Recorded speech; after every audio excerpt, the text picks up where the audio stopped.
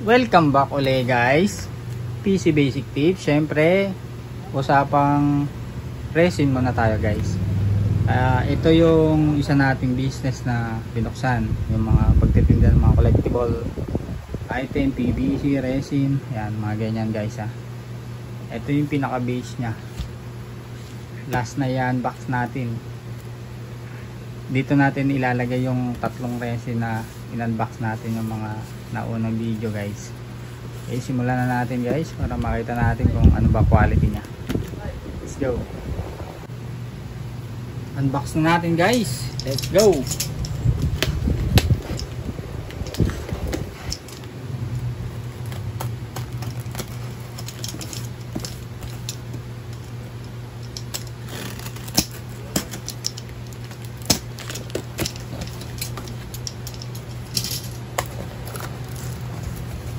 OMG walang yan. Para pwede ng kortina to guys.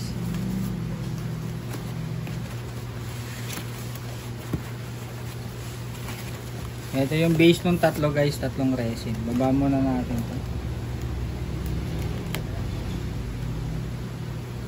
Okay.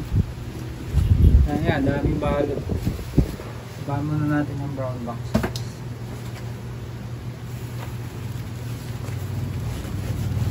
buksan natin.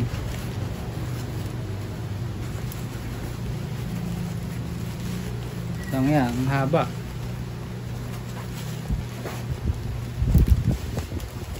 Uy. Parang hmm? Eto guys yung base nya oh. ang lupet resin to guys ha resin din to guys. Ayan. resin din ang angas. Tapos mamaya ilalagay natin dito yung tatlong resin na soap factory. Si Lupi si Lo saka si Kid. Ayan, guys baba ko muna guys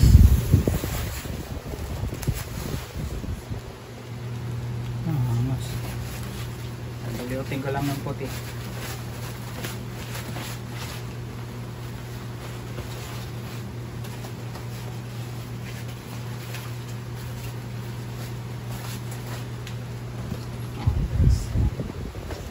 Patong natin dito. Katapos. Tanggalin muna natin plastic. Check natin kung okay ba.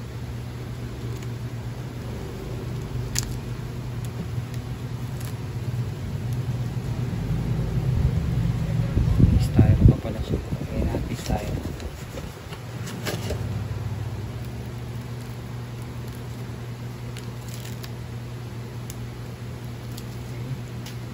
styro kailangan tandaan natin saan nakalagay styro guys para pag nabili babalik lang natin okay guys ito yung base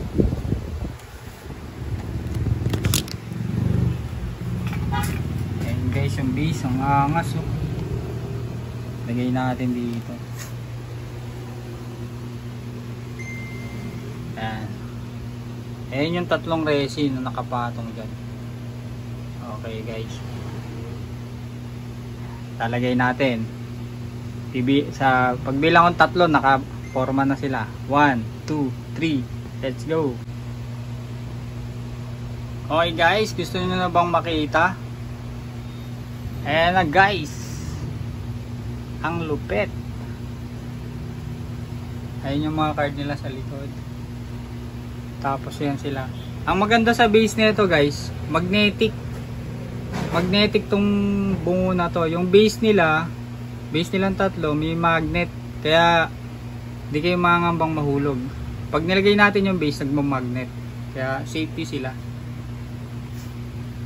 Okay, angas guys. Napakaangas. Sila. Okay.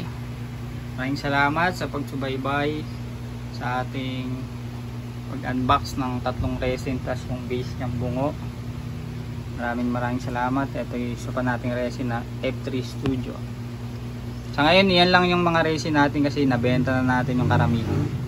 Yan, yan na lang yung bagong dumating. Maraming salamat guys. Ang angas nito panalo. Thank you.